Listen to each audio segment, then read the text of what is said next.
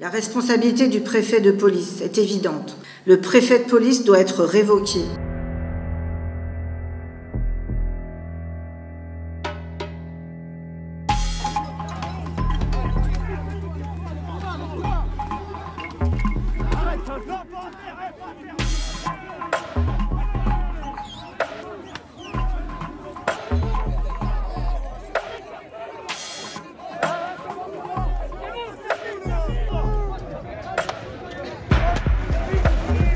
La responsabilité du préfet de police est évidente.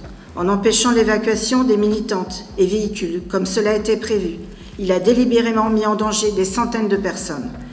Le préfet de police doit être révoqué. Il a failli à de nombreuses reprises à la protection des manifestants et à l'exercice du droit à manifester. Nous n'oublions pas la responsabilité du gouvernement et du ministre de l'Intérieur, qui le maintiennent en place, espérant que la stratégie de tension leur serve politiquement, étouffe les revendications du monde du travail et la contestation des politiques gouvernementales et patronales. Nous étudions actuellement les possibilités de déposer une plainte contre le préfet de police. Nous sommes en position d'une vidéo de la manifestation de samedi que nous a remis une association indépendante.